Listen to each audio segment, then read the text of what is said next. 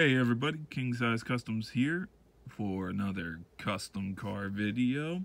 This was the 76 or 77 Chevrolet Camaro and I wanted to customize it to look a little bit like a car from one of my video games. Those of you who've ever played True Crime uh, New York City remember that this was uh, the car that Marcus drove. Wasn't as nice, I think. I don't think it had the hood. I know it didn't have the hood scoop. I know it didn't have the um, roll cage. But he drives one of these in the beginning, and then there was a clean variation of it, and there was the dirty, rusted variation of it. Now, I know you guys are going to comment, the rust doesn't look that real. I'm still playing around with rusting techniques. I think the best way to go is probably the Tamiya powders. So, um, I found them on eBay. I'll probably pick them up sooner or later. But um, let's go into it a little bit more. So, this is an almond color. This is a satin finish paint, but I used flat clear coat to make it look a little bit more rusty and busty well, rusted and busted, but um, kind of hard to tell. I did the tail lights.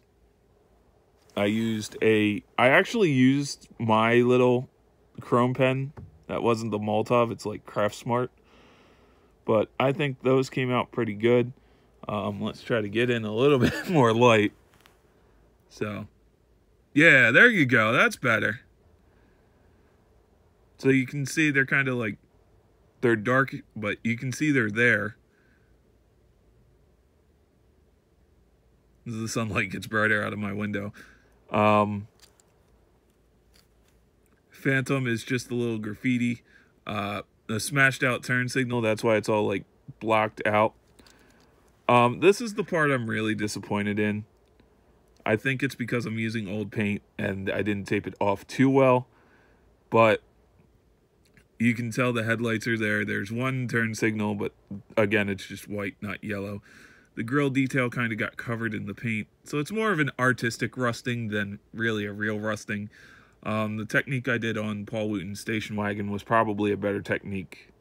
So, uh, another huge announcement. I just got my degree. My degree came in the mail on the 3rd of July. Those of you who follow me on uh, Facebook and Instagram know that I had just gotten that on the 3rd of July. Um, I'm also an uncle for the third time, which is super awesome. Uh, my nephew was born a few days ago, so I'm an uncle for the third time.